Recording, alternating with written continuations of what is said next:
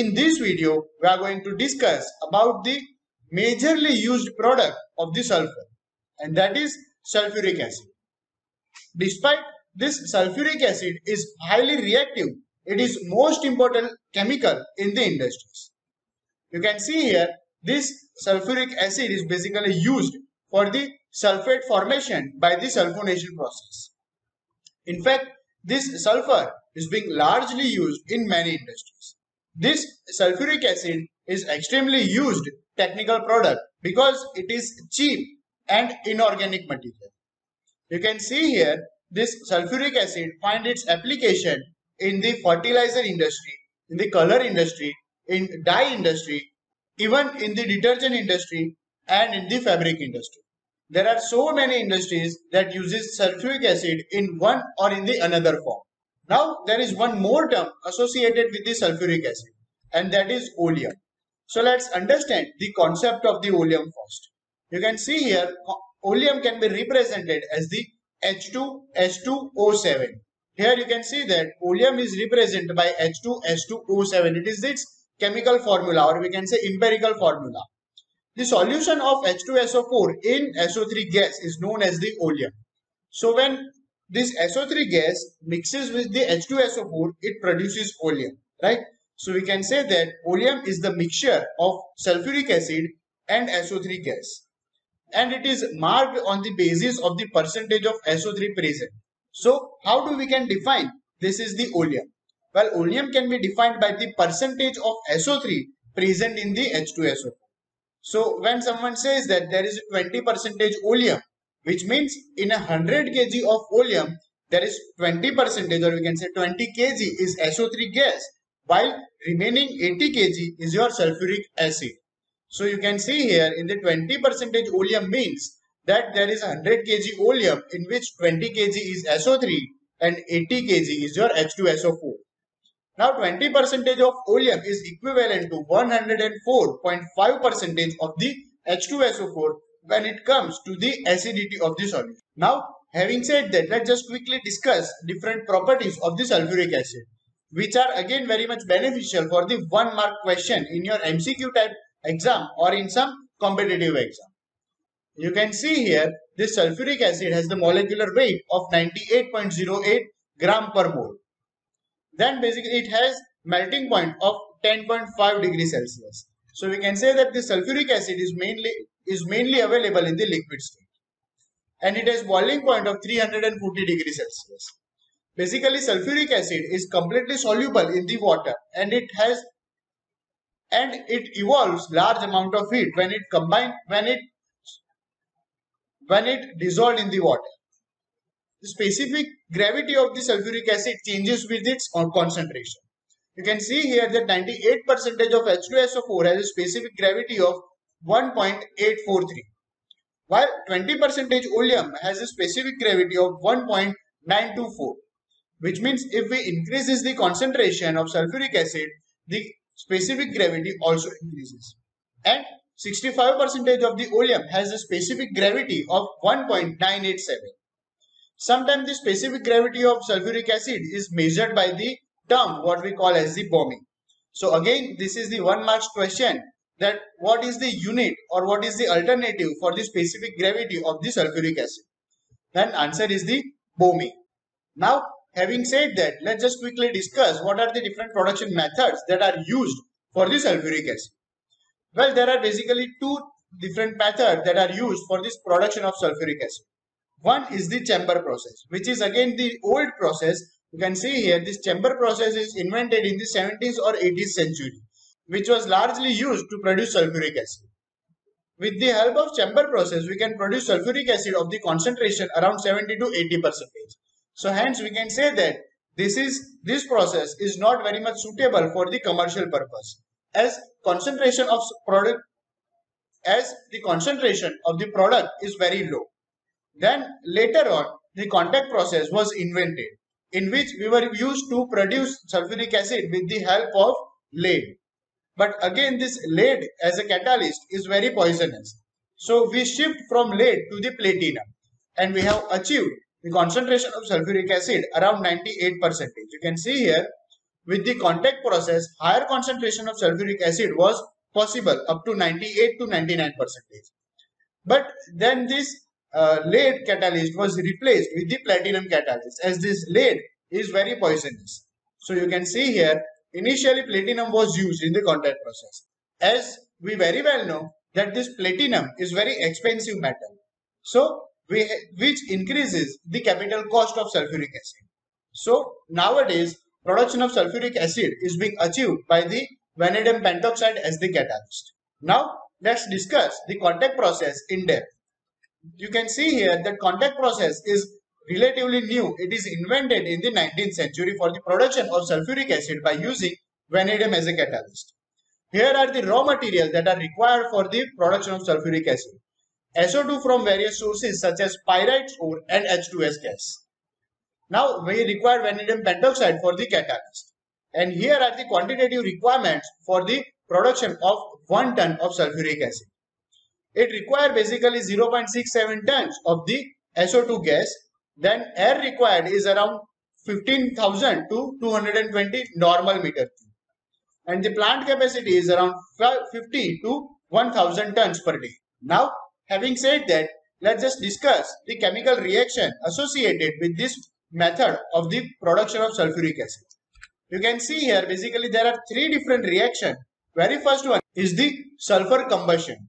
Here you can see that in which sulfur is being combusted with the presence of oxygen in order to produce H2SO. In order to produce SO2 gas. And it is again the exothermic reaction which produces around 70.9 kilocalorie of the heat. Then the second reaction as you can see here in this, there is one reactor inside which we are feeding our sulfur and air for the source of the oxygen in which the combustion take place and it produces SO2 gas. Now the second reaction is the catalytic oxidation in which we oxidize our SO2 gas into the SO3 gas by using catalyst. You can see here we are supplying SO2 gas with the excess of oxygen and with the presence of vanadium pentoxide, it converted into the SO3 gas, which is again the exothermic reaction which liberate heat around 23 kilocalories. Now, the last chemical reaction is that you can see here this acid formation. So now with the help of SO3, SO3 gas, we are going to produce H2SO4. This SO3 gas is now absorbed in the H2SO4 in order to produce oleum that is H2S2O7.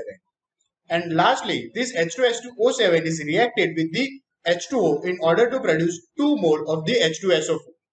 So you can see here, this SO3 gas is now absorbed in the water bath. So in order to produce sulfuric acid at the so in order to produce 2 mole of the sulfuric acid like this. Right. So this is what the all chemical reaction that are very so this is what the all chemical reaction that are taking place in the production of sulfuric acid. This is again very important for the exam. Now let's just quickly discuss the flow sheet for the production of sulfuric acid. As you can see here, this molten sulfur is being mixed with the dry air in order to produce SO2 gas in the furnace. So you can see here we have taken this molten sulfur and this dry air and fed it to the burner so that we can produce SO2 gas. So we can produce this SO2 gas. Now this SO2 gas is then passed to the one filter so we can remove some oil some oils associated with this gas. And we are utilizing this hot exothermic reaction heat to produce steam out of the water, right? Now this product or we can say this SO2 gas is directly sent to the double stage catalytic reactor. You can see here this entire thing is your two stage catalytic reactor in which we are taking this chemical reaction in two stages. In very first stage, we are achieving temperature around 500 to 600 degrees Celsius and in which the oxidation of your SO2 is being taking place and it produces SO3 gas in the presence of vanadium pentoxide. We are using around 30 to 40 percentage of vanadium pentoxide as the catalyst in the first stage. So as this product is now then cooled with this steam, you can see here again we are cooling this product to the 300 degrees Celsius. And we are utilizing this heat in order to produce steam one more time, right?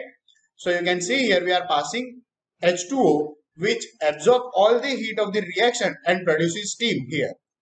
So now our product from the first stage is at the 300 degrees Celsius. But this product contains some amount of the unconverted SO2. So now we have to convert this unconverted SO2 into the SO3.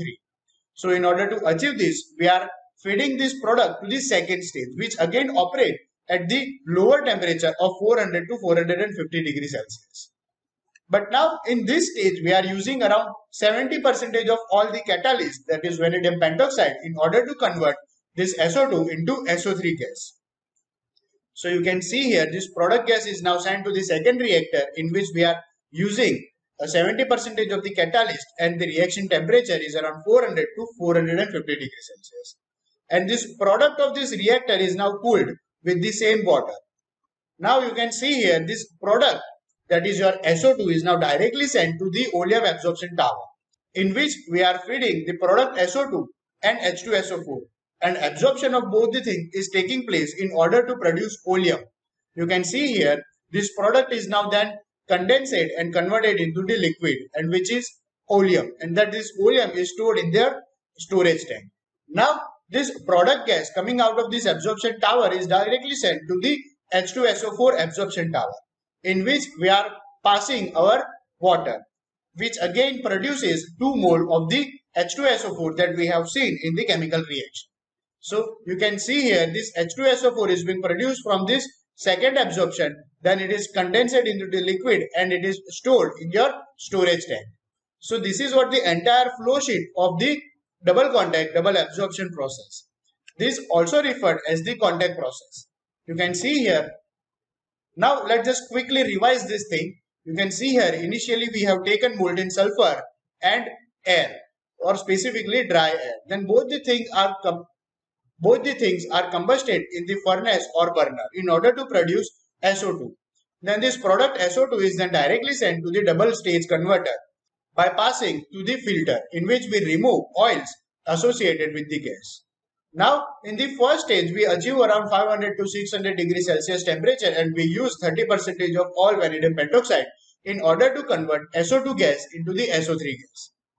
And remaining product is directly sent to the second stage reactor, which take place around 400 to 400 450 degrees Celsius and which use around 70% of your vanadium pentoxide. Then this product is cooled and directly sent to the oleum absorption tower in order to produce oleum. And the product gas from this oleum absorption tower is directly sent to the sulfuric acid absorption tower in which we absorb sulfuric acid with the help of H2SO4 and it is again cooled and condensed in the liquid state and it is stored in your storage tank.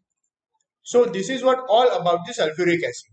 Now let's just quickly discuss this process description, right, that we have already understand in the flow sheet. So air and SO2 gas contain around 7 to 10 percentage of SO2 and 11 to 14 percentage of O2 is preheated in burner and sent to the first reactor that we have seen in the flow sheet. Then this first reactor is high temperature around 500 to 600 degrees Celsius which contains around 30 percentage of your total catalyst and convert 80 percentage of SO2 into the SO3. So we achieve around 80 percentage of total conversion in the very first stage. But in order to increase the yield of H2SO4, we are further reacting the unreacted SO2 in the second reactor. You can see here this converted product are cooled down to 300 degrees Celsius and fed to the second reactor. Now in the second stage, yield is increased by the 97 percentage and it is operated around 400 to 450 degrees Celsius which is again your favorable equilibrium condition for the production of sulfuric acid. The hot SO2 gas is then cooled to 150 degrees Celsius and dissolved in the concentrated H2SO4 to produce oleum. Now, directly dissolving SO3 gas into the water is practically impossible because it liberates large amount of heat and that need to be absorbed somewhere. So, to avoid this, water is added slowly in the oleum. So, in order to produce 2 mole of the sulfuric acid that we have seen in the chemical reaction. So this was all about the sulfuric acid production method by mean of double contact double absorption method.